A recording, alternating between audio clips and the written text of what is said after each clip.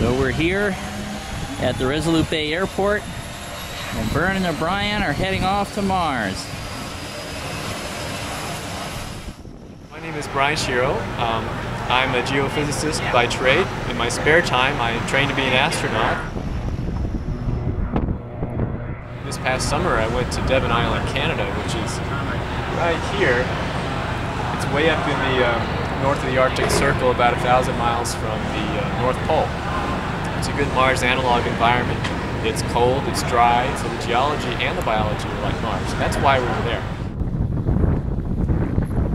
Well, my background's in geophysics, and I've dabbled in a lot of different areas, from, from GPS work um, to seismology um, and other fields. But I ended up settling in seismology, which is the study of earthquakes.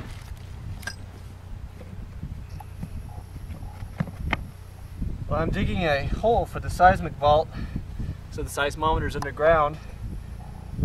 It's less noisy that way, it's more thermally stable, and uh, not as affected by the winds.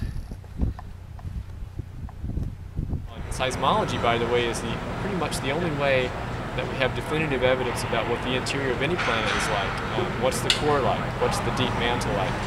Um, as well as uh, alerting us to when earthquakes happen or Mars quakes on Mars.